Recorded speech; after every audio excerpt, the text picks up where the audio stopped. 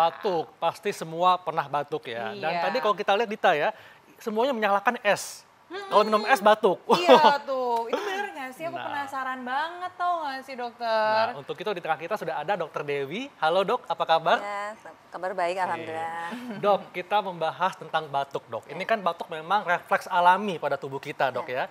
Tapi ini ada juga mengatakan bahwa batuk berdahak ini mesti ditangani berbeda dengan batuk kering. Ini Ya. fakta atau mitos dok?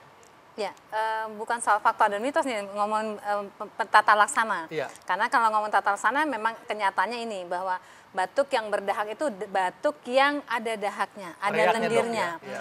Kalau batuk kering adalah batuk yang dia batuk tapi tidak mengeluarkan dahak. Iya. Jadi eh, tata laksananya juga beda. Beda, Kalau ya. yang batuk berdahak harus diencerkan eh, dahaknya yang kental agar mudah dikeluarkan Iya. sehingga eh, tidak menyumbat saluran nafas. Tapi kalau batuk yang kering harus ditata laksana jangan diredam Ya. eh, refleks batuknya. Jadi bukan fakta mitos tapi eh, tata laksana yang berbeda. Memang seperti itu dok Tapi ini ya. berbeda cara ininya aja ya dok. Obatnya ya. obatnya ya. Hmm, ya. Jadi kalau untuk yang berdahak diencerkan dengan ekspektoran, Ya. kalau yang kering ditekan dengan antitusif dok. Ya betul. Oh, Ya, Oke. Kalau misalnya ini dokter fakta mitos nih, katanya kalau dengan kita memakan goreng-gorengan itu dapat eh, memicukan batuk nih dokter. Ya.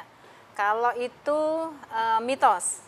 Kalau Mitos. makan gorengan Iya. ya. Ya karena eh, kalau di abang-abang mohon maaf di eh, di pinggir jalan itu minyaknya kan berulang kali tuh. Jadi titik Hmm. Iya. as eh, titik Didihnya? apa? Titik didihnya sudah ngelebihi dan berulang kali sampai kalau kita pernah lihat saya suka deketin juga tuh penasaran gitu ya. Itu minyak sampai hitam-hitam kan.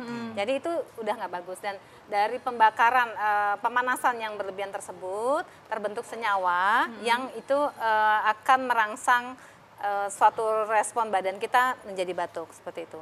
Itu satu. Yang kedua eh, dari kontur si apa gorengan sendiri yang kadang-kadang juga tidak nyaman eh, Iya. untuk dimakannya itu merangsang juga untuk batuk. Jadi Tapi ini bisa ini- memicu batuk dok ya. Ini bisa. itu. Bisa, tetapi Menyebabkan batuk em, tidak ya? Tidak secara langsung, karena sebenarnya eh, dari minyaknya, Minyaknya. dari minyaknya. ya. Iya. Oke.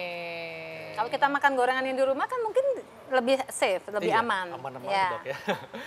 Dan dok ini ada juga dok yang mengatakan bahwa selain goreng-gorengan, makanan manis nih juga bisa memicu batuk. Ini fakta atau mitos dok? Ya.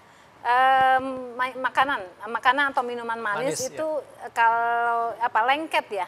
Makanya saya bilang kalau habis minum makan co- atau makan coklat ya, kita harus bilas. Oh, langsung air putih ya Air dokter putih, ya. Agar tidak tidak terjadi lengketan di di dalam saluran nafas eh, bagian atas yang bisa memicu batuk seperti itu. Tadi Hmm, Jadi ini intinya fakta atau mitos nih dokter? Kalau- bisa memicu batuk nih dengan makan manis, Manis, atau iya. permen-permen kayak gitu coklat tadi dokter? ya itu adalah efek yang tidak secara langsung karena ini dia kan manis lengket ada senyawa yang Hmm, berarti- merangsang. Jadi Berarti ini bisa ini- fakta dok ya? Ya bisa fakta tapi tidak Secara langsung. tidak secara langsung Iya. seperti itu. Oke, nah ini dokter. Tapi kalau misalnya uh, ngomongin batuk nih ya dokter ya, katanya kalau kita dengan mengkonsumsi es ini tuh katanya kalau bisa tuh bikin batuk kita tuh tambah parah. Jadi dokter tuh kalau nyaranin biasanya saya ke dokter tuh biasanya jangan minum air es dulu. Selalu ya kan? Ini, ya? ini fakta atau mitos nih berarti dokter? Ya, jadi kalau es itu kan dingin pastinya. Iya. Eh, dingin efek dari dingin tuh di saluran nafas kita kan sepanjang ini ada pembuluh darah. Jadi dia mengecil atau vasokonstriksi kalau istilah kedokteran kita. Di situ vasokonstriksi, kemudian eh, kemudian ada bendungan di dalam di dalam. Kemudian makanya pada suka orang jadi pilek. Setelah itu dari bendungan tuh terbentuk sikrit apa Lendir. itu lendir. Oke. lendir keluar sehingga pilek eh, yang minum itu. Dan eh, faktor terakhir adalah ada alergi jadi ada orang yang nggak tahan dengan dingin dingin Oke, berarti ini memperparah batuk nih, fakta berarti ini dokter? ya bisa Ini fakta. bisa Oke. tapi bukan berarti tidak boleh minum es ya Tapi tidak, oh tidak dianjurkan. Ya, karena kalau daya tahan tubuh kita baik sebenarnya aman-aman aja minum es Gitu. Dok, dan ini ada juga dok yang mengatakan bahwa kalau batuk yang disertai darah, ini merupakan tanda dari gejala kanker. Ini fakta atau mitos? Ya. Gejala kanker paru dok. Kalau disebutkan bahwa batuk darah eh, diarahkan ke kanker paru, tidak juga. Karena batuk yang lain juga bisa ada. Contoh kasus tuberkulosis, Iya. itu juga bisa batuk darah. Kasus yang buk- eh, bronkiektasis istilahnya, itu juga bisa batuk darah. Batuk yang berlebihan menyebabkan luka di saluran nafas atas juga bisa batuk darah. Oke. Jadi tidak semua batuk darah pasti kanker, tidak. Jadi kita mesti cari eh, detail apa tahu lagi ini apa sih eh, yang menyebabkan batuk darahnya. Jadi nggak selalu dok ya? Tidak selalu. Iya. Nah, tapi ngomongin tentang batuk lagi nih dokter ya. Katanya dengan cuaca dingin itu dapat memicu batuk nih dokter. Ini fakta atau mitos nih dokter? Ya, itu termasuk eh, fakta karena Fakta. ya, karena dari beberapa orang kan juga punya alergi. Oh, Jadi- jadi, eh, karena dingin gitu eh, langsung bisa batuk juga itu berarti Ya. fakta ya dokter ya? termasuk fakta. Karena em, pada contoh-contohnya kasus asma. Asma itu kan tidak harus selalu ngik ngik bunyinya ya. seperti kucing itu ya. Tetapi pada orang tertentu merangsang batuk sebagai respon re- proses peradangan di dalam. Proses eh, inflamasi dari asmanya. Iya. Gitu. Dok, ini kan musim hujan dok ya. Ya. Kayaknya banyak nih yang sakit batuk pilek. Dan ini ada yang mengatakan di masyarakat batuk pilek dapat disembuhkan dengan istirahat yang cukup.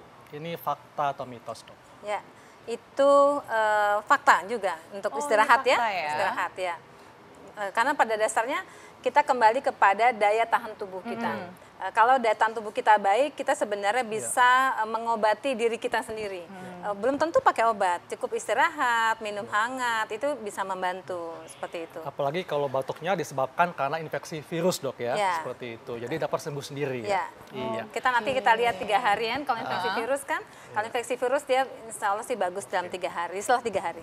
Dok, kalau gitu apa dok tips pada masyarakat supaya terhindar dari batuk ataupun kalau sudah kena batuk apa nih eh, tata laksananya? Ya, baik. Kalau itu untuk eh, menghindari batuk, pertama tetap jaga daya tahan tubuh kita eh, dengan pola makan yang baik, kemudian olahraga yang teratur, tidak merokok pastinya, ya. Oke. Kemudian, kemudian kalau kita sudah Kena batuk? eh, kena batuk, berarti kita lihat eh, kan eh, keluarga suka punya obat di rumah ya, Iya. obat biasa lah dulu, misalnya kita bilang obat warung. Kita minum dulu, kita evaluasi tiga hari. Kalau belum ada perubahan atau belum ada perbaikan, sebaiknya adalah ke dokter agar tidak berkelanjutan. Iya. Jadi intinya jangan anggap remeh batuk dok ya. Ya, betul. Oke dokter terima kasih dok Terima penjelasannya. banyak, dokter. Iya. Wah nggak terasa Dita ya satu Iya, jam kita sudah membahas jam. semua hal ini dan saatnya kami pamit ya. Iya, dan buat yang belum bisa menyaksikan Hidup Sehat, bisa langsung saja lihat di viva.co.id. Dan sekarang saya Dita Fakrana. Saya Dr. Hekal dan Indonesia